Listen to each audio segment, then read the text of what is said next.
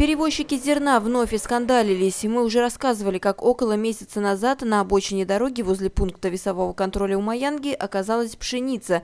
Тогда исполняющий обязанности главы Балаковского района Дмитрий Поперечнев возмутился этим и дал наказ начальнику управления сельского хозяйства Александру Мазлову, мол, передайте фермерам лишнее не отгружать. Но вот снова зерно на обочине. На этот раз водитель высыпал на землю около пяти тонн ячменя. Они заранее, не заезжая на весы, высыпают данный груз. Если вы знали то, что груз действительно в норме, спокойно бы проехали. Да.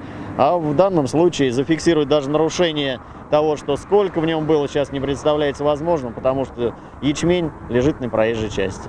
По словам инспектора, грешат перегрузами в основном иногородние перевозчики. Они, видимо, надеются, что им удастся миновать все пункты весового контроля без остановок. Но иногда сами, что называется, палятся. Завидев инспекторов, они даже не заезжая на весы, скидывают на дорогу перегруз. И все, избежали штрафа. А груз тонны больше, тонны меньше. Но вот в данной ситуации, что можно заметить э, в сложившейся ситуации на сегодняшний момент, водитель является индивидуальным предпринимателем – по э, статье 12.21.1, это Кодекс административных правонарушений, индивидуальные предприниматели за нарушение по данной статье э, идут как юридические лица.